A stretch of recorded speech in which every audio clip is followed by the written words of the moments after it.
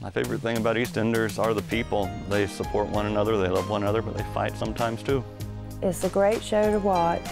It's lots of fun, uh, dramatic, some tears, some risque scenes.